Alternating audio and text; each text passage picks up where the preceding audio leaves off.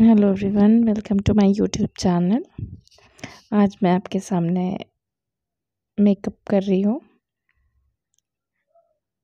और यहाँ पे मैंने ब्लू आई मेकअप किया था।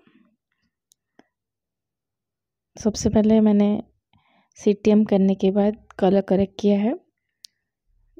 Light orange colour.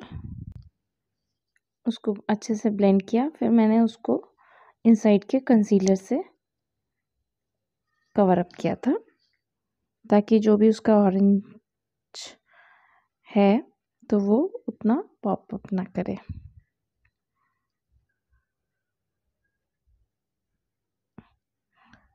और ये इनसाइड का कंसीलर काफ़ी थिक कंसीलर है और काफ़ी अच्छा कंसीलर है।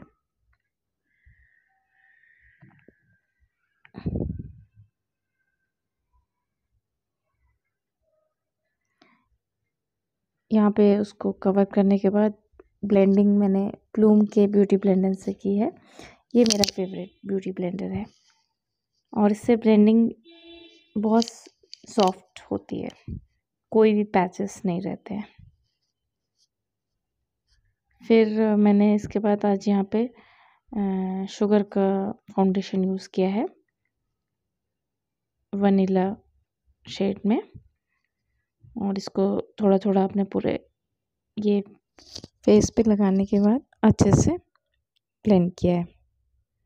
और ये शुगर का फाउंडेशन काफ़ी क्रीमी रहता है और काफ़ी ब्यूटीफुल दिखता है।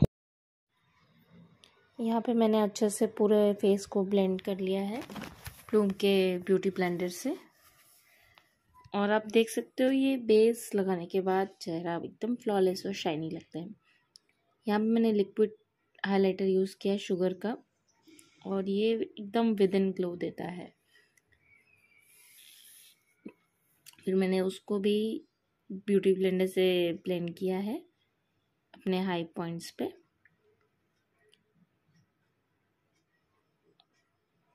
कहीं पे भी उसके शार्प एजेस नहीं हैं। और जितने भी मैंने प्रोडक्ट लगाया था, उसके बाद उसको फेसेस कनाडा के सेटिंग स्प्रे से सेट किया है और एक बार ब्लेंड किया है।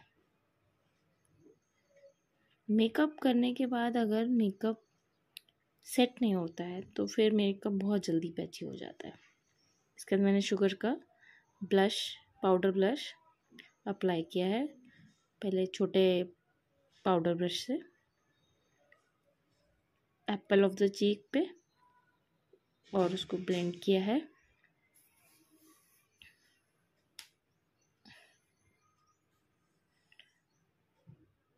और ये ब्लश काफ़ी अच्छा और रीज़नेबल है।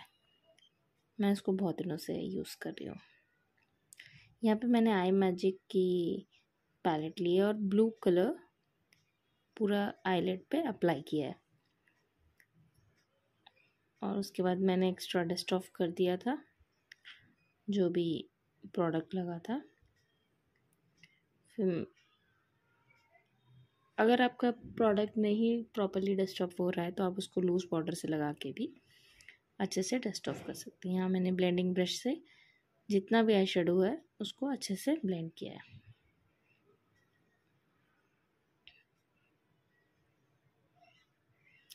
जब भी आप डार्क मेकअप करें और उसके साथ अगर लाइट लिपस्टिक लगाते हैं तो वो काफ़ी सोबर दिखता है। एट द एंड अगर आपको जो भी लगाना है वो आप लगा सकते हो। लेकिन आजकल ट्रेंड है कि अगर आप डार्क आइज़ कर रहे हैं तो लाइट लिप्स और अगर लाइट आइज़ कर रहे हैं तो आप डार्क लिप्स फिर मैंने डार्क ब्राउन कलर से as a liner eye shadow लगाया है।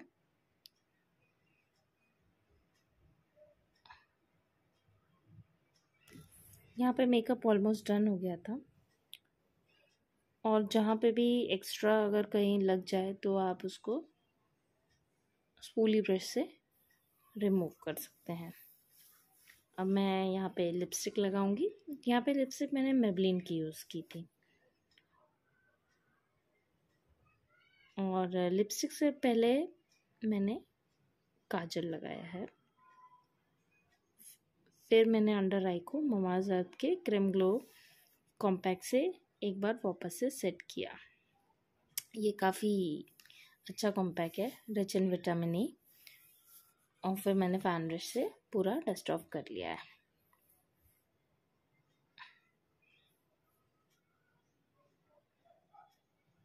यहाँ पे मैंने लिप लाइन किया है शुगर के लिप लाइनर से।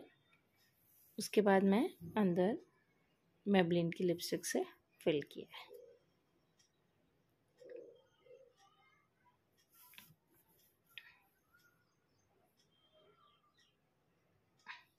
यहाँ से, यहाँ पे मैंने छोटा लिपस्टिक ब्रश यूज़ किया है। और ये काफ़ी अच्छा शेड बन के आया था, brown plus nude colour.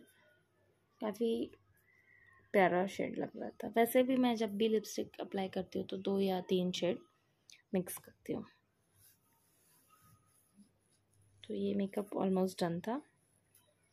And काफ़ी प्रटी और फ्लॉलेस मेकअप हुआ था। मैंने यहाँ पे एन का लाइनर लगाया। लाइनर मैंने बहुत पतला सा लगाया था, क्योंकि ऑलरेडी मैंने काइंड ऑफ़ स्मोकी आइज़ की थी।